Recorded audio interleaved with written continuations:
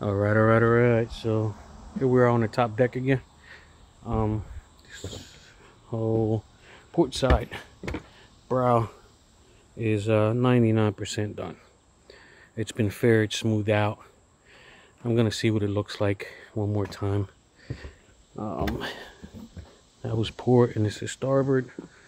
Starboard was rough this morning. It was just rough glass. I smoothed it out a little bit and uh, put a lot of fairing compound, Cabosil, on it.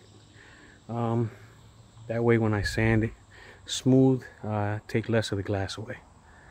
And then top deck, I sanded all the seams smooth. I'm thinking about putting one more layer of glass going from the bow to the stern.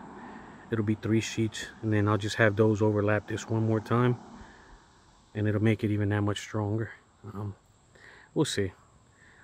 I don't think it really needs it, but it's always better to go overboard than, well, not literally, no pun intended.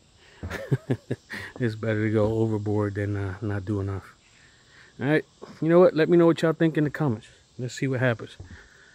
All right, and uh, also let me know where you're watching from. I am in uh, what's called Delaware City, Delaware. All right, stay tuned.